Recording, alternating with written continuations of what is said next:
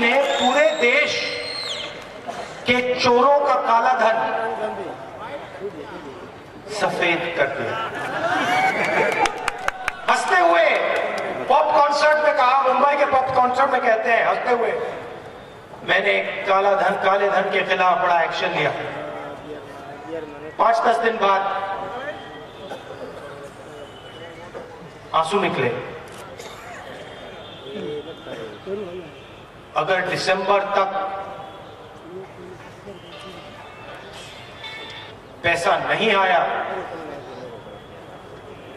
तो नरेंद्र मोदी जी को फांसी लगा देना इमोशनल हो गए, आँसू निकले। अब मैं आपको एडवांस में कह देता हूँ, देखो एडवांस में कह देता हूँ। नहीं भैया नहीं नहीं नहीं नहीं नहीं नहीं नहीं, उन्नीस तारीख को तो निकलेंगे, मगर उससे पहले दो तीन बार ऐसे भाषण में इमोशनल हो जाएँगे मोदी जी आँसू निकलेंगे। खोखलापन है।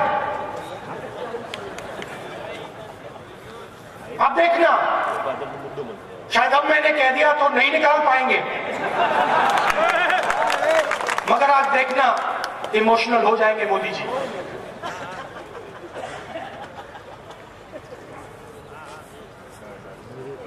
अमिताभ बच्चन से बेहतर एक्टिंग करते हैं। उसको अमिताभ बच्चन को रोने के लिए कॉन्टैक्ट लेंस लगाना पड़ता है।